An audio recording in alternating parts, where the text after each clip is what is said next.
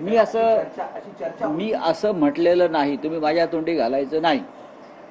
मी व्यक्तिगतरित्या कोणावरही कोणतंही मत प्रदर्शन केलेलं नाही. तेवढी सभ्य सभ्यता सुसंस्कृतपणा आमच्यामध्ये आहे.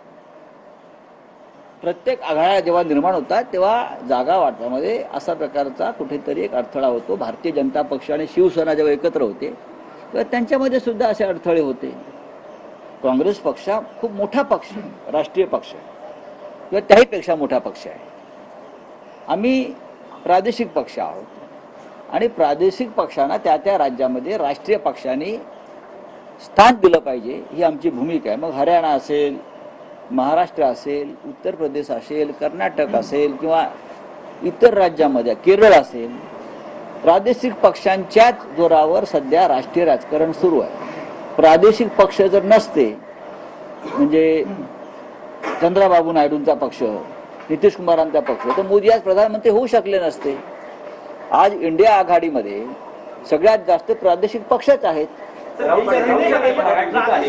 तुम्ही काल म्हणाला होतात की राहुल गांधी आणि खरगे आमची सगळ्यांशी चर्चा झालेली आहे.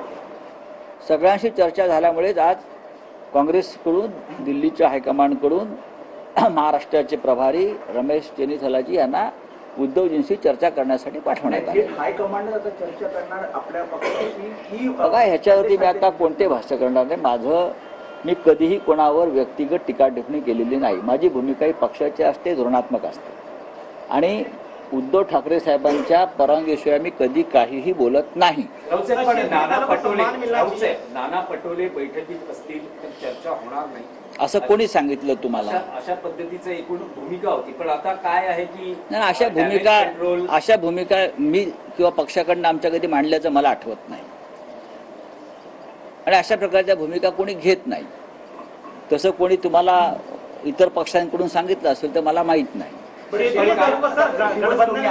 एक साधारणपणे सोमवार मंगळवार पर्यंत तरी जागा वाटप जाहीर होईल. राष्ट्रवादी काँग्रेस पक्ष आणि आमच्यातले जागा वाटप संपलेलं आहे. आमच्यामध्ये फार मतभेद उरलेले नाहीत. माननीय शरद पवार साहेब आणि उद्धव ठाकरे साहेब स्वतः लक्ष घालतायत. कारण आमचा हायकमांड मुंबईत आहे. फार आग्रही आहात. ती जागा एनसीपी की शिवसेना युबीटी? एक लक्षात घ्या. की अनेक ठिकाणी काँग्रेस असेल राष्ट्रवादी काँग्रेस शिवसेना या कार्यकर्त्यांना वाटतं की इथे आम्ही चांगल्या प्रकारे निवडणूक लढू शकतो. काही नवीन जागा अशा असतात तिथे आम्हाला असं वाटतं की आम्ही इथे आमचं भाग्य अजमावू शकतो निवडणुकीत. त्यातला श्रीगोंदा एक नक्कीच आहे. पण मला खात्री आहे की माझ्याने शरद पवार साहेब यातून मार्ग काढतात